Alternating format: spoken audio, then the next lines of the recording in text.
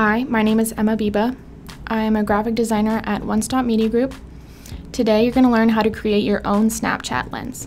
If you don't have much experience in Photoshop or Adobe Illustrator, Snapchat has pre-made designs that you can customize, but this tutorial is for someone a little more experienced that wants to create a complete, completely custom lens. What you're going to want to do first, if you don't have Lens Studio on your computer, you're going to want to go to lensstudio.snapchat.com and click download.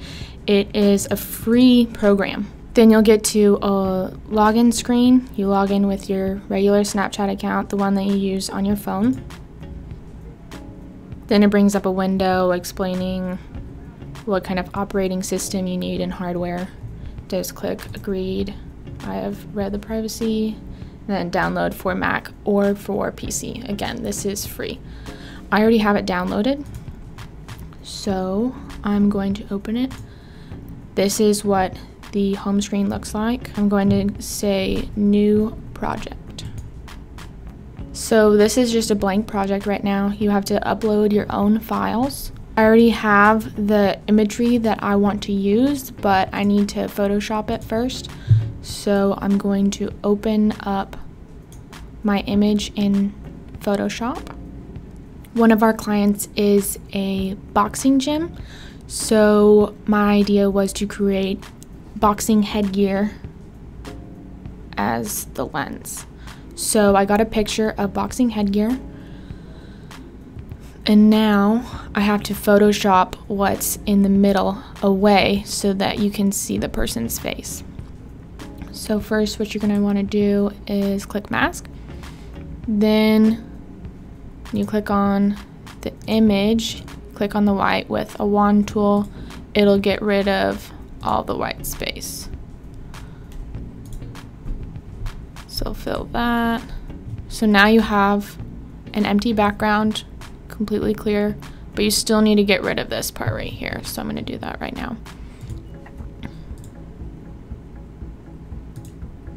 You can use any kind of method to get rid of the background, whatever you're comfortable with in Photoshop. Okay, and let's say I've already finished that exit, don't save, because I already have the Photoshop file here that is done. Okay, so this is the plain version. Pretend that I don't have the logo on there already. I've photoshopped everything out. Then I want to add the logo. So going to open up our logo in Photoshop as well. Command A for select all, Command C for copy, and Command V for paste. And then Command, Command T to transform it and make it smaller. Now I want to add a shape behind that because normally on boxing headgear the title, the logo that is on top of it doesn't isn't just plain on the headgear. It needs to have a white background. Okay, now we're almost done, but what I like to do, this, it wouldn't just be straight on the headgear. I like to add a little bit of perspective. So I'm going to go to Edit, Transform, and Warp. And then it'll be a little bit curved. It wouldn't be a straight line.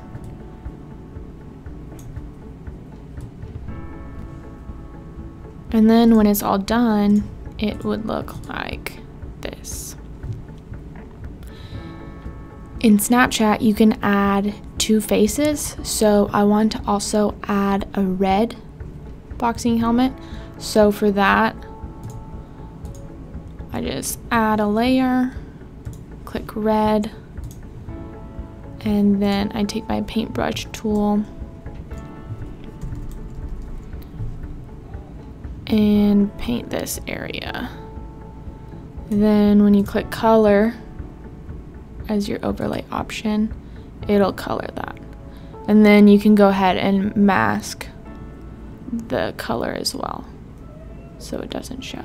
In the end, you'll have a red boxing helmet. So now I have two options, the red and the blue. I saved both of those as PNG files because you don't want a background behind the helmet. Let's go to File, Save As, then save as PNG. title this red because it's the red version. Save. And then I will also save a blue version. So save as PNG, then underscore blue. Save. Now, once you have your PNG file saved, now you're going to open Lens Studio again. In the Resources tab, you're going to click Add New. Add New, and then Import Files. So I click on my files, click Open, and now they are in my Resources tab. Now to add the headgear onto the face, you go to Add New, then you're going to click on Face Sprite.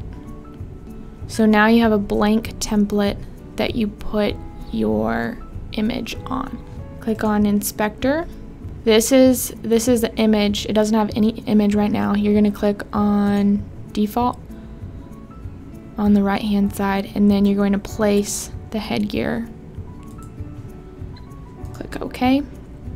Now it's really small right now, so you have to increase the size, make it as big as you want to, position it where you would want it to be on the face. Then you can click preview to see what it would look like. So this is a little bit small on this person's face, so I may want to make it a little bit larger. Move it up a little bit. Snapchat gives you the ability to look at multiple people's faces, try it out, see what it looks like. So this guy's hair is a little big, may want to make it just a tad bit larger so it covers that a little bit more. It's not going to be perfect. What's really great about the Lens Studio is that they also give you video options so you can see what it looks like in a video as well. As an idle person, on this guy, it's a little bit small as well, so I may have to make it a little bit bigger. There we go. It's good to compare multiple people because nobody's face is going to be the same, so you need to see if it's going to going to work on a variety of different face shapes and sizes. So I've checked it now. It works on everybody's face. But We've also got another face. If you have two people, and I, I said that I wanted to add a second face option. So now you're gonna click add new again, and then face sprite. Now we're on a new face, the second one. So again, you're gonna click default, and then you place the image that you want to be on the second face. So I click OK. I increase the size.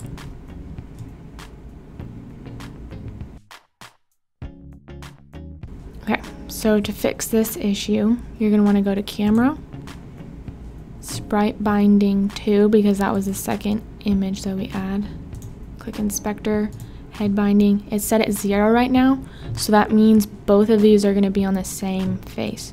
So you're want to put 1 because the first one will be 0, the second one will be set at 1. So then it should be on a new face. Let's check it. There we go. See, so now you have two faces on there. Let's say we want the mask to move with the person's face. It doesn't change the proportion of this. So we need to go back to sprite binding 1, sprite 1. This says align to camera when you upload a new sprite, it will automatically have aligned to camera. So you're going to want to uncheck this. And when you do preview, see it moves with it. It doesn't necessarily work for this particular lens, but it'll be important if you want to make a different kind of lens. And now, once we're done with that, I'm going to check every preview to see that it works. It works. So once you're done, you're going to want to go to Submit Lens in the top left-hand corner of Lens Studio. Click Submit Lens. And then it gives you the option to name your lens. I'm going to call it Rocky's Boxing Gym because that is who the lens is for. The lens works on both cameras, so saying front and back. You're also going to want to choose an icon. That will be the image that shows up in, see this? So let's say we're in your Snapchat on your phone. It'll be the image that shows up, the preview image of your Snapchat lens. So go choose icon. I've already made one.